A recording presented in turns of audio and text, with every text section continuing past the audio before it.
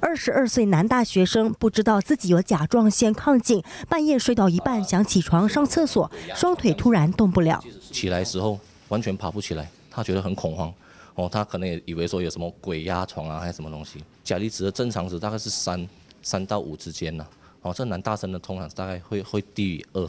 男大生的病症为甲状腺毒性周期性麻痹，一般人听来陌生，其实就是由甲状腺亢进所引起，好发于亚洲二十岁到四十岁左右的男性，半夜或早上下肢无力，类似瘫痪，有严重的低血钾，想要避免发作，少喝甜的。国外有研究指出，患者前一天激烈运动之后喝下过量的含糖饮料，特别容易诱发甲状腺毒性周期性麻痹。致病机转有有可能是因为大量运动会促进我们的交感神经，或让我们的电解质的通道打开，钾离子。